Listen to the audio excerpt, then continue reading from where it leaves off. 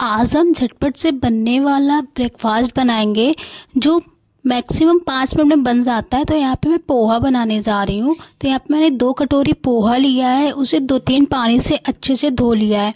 फिर इसे थोड़ी देर के लिए पानी में रहने दिया है, दो से तीन मिनट के लिए, और आपको थोड़ा मोटा चूरा यूज़ करना है। अब यहाँ पे मैं एक कढ़ाई लूँगी, उसमें तेल डालूँगी और मूंगफली के दाने को अच्छे से फ्राई कर लूँगी। आप चाहो तो उसे रोस्ट भी कर सकते हो। जब तक ये लाल ना हो जाए, तब तक हम इसे फ्राई करते रहेंगे। और ये फ्राई हो गया तो इसे प्लेट में निकाल लेते हैं। अब हम सेम कढ़ाई में तेल डालेंगे दो चम्मच उसमें हम ज़ीरा हरी मिर्च डाल के अच्छे से इसे भी कुक कर लेंगे। ये कुक होने के बाद यहाँ एक बड़े प्याज को चॉप किया है और इस कढ़ाई में डाल के इसे भी हम अच्छे से कुक कर लेंगे। जब ये थोड़ा सा ब्राउन हो जाएगा तो यहाँ पे मैंने एक टमाटर को भी चॉप कर लिया है। उस टमाटर को जब भी हम चॉप करेंगे उसमें के जो अंदर के पल्प रहेंगे जो कूदा रहेगा उसे निकाल लेंगे फिर हम चॉप करेंगे।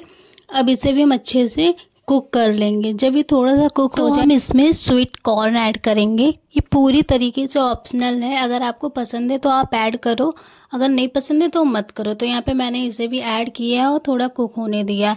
अब हम इसमें खड़े मसाले डालेंगे। इसमें हाफ़ टेबल स्पून मैंने हल्दी पाउडर हाफ़ टेबल स्पून धनिया पाउडर हाफ़ टेबल स्पून गर्म मसाला और टेस्ट के अकॉर्डिंग नमक डाल के अच्छे से इसे भी पका लेंगे। जब ये अच्छे से पक जाए तो हमने जो मूंगफली फ्राई किए थे उसे भी इसमें डाल के सभी चीज़ों को अच्छे से कुक कर लेंगे। ये कुक होने के बाद यहाँ पे मैंने चूरे को जो भिगाया हुआ था दो से तीन मिनट के लिए उसे भी अच्छे से हम डाल के मिक्स कर लेंगे।